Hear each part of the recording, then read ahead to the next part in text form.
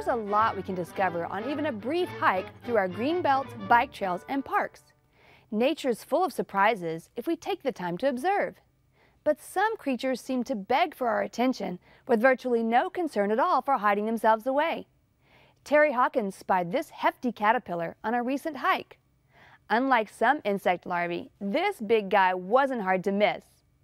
Terry noticed it was munching on a vine that was growing into a mountain cedar. With a definite resemblance to our dreaded tomato hornworm, we suspect that this is the larvae of one of the many species of sphinx moths native in our area.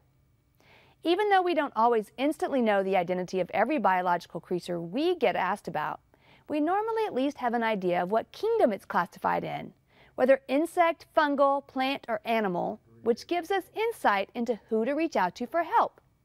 However, when a viewer recently sent us a photo of these white spherical objects all huddled together in a globular mass, we weren't exactly sure where to start.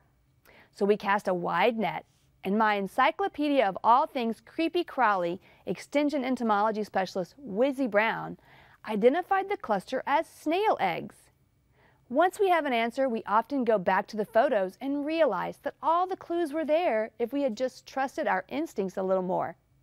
We know from all the questions that we get that many of you instantly doubt your own ability to identify an issue you're having or a creature you've spotted.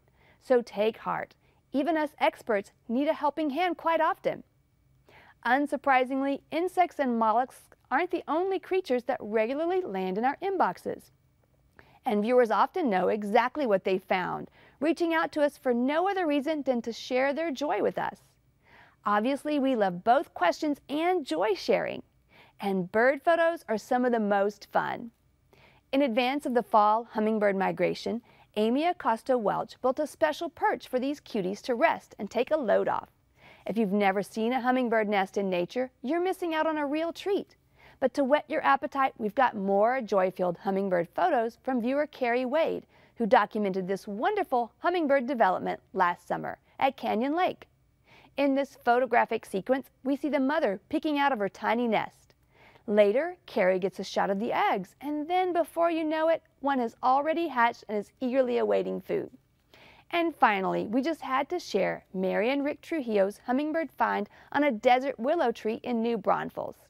We'd love to hear from you. Click on centraltexasgardener.org to send us your pictures, questions, and videos.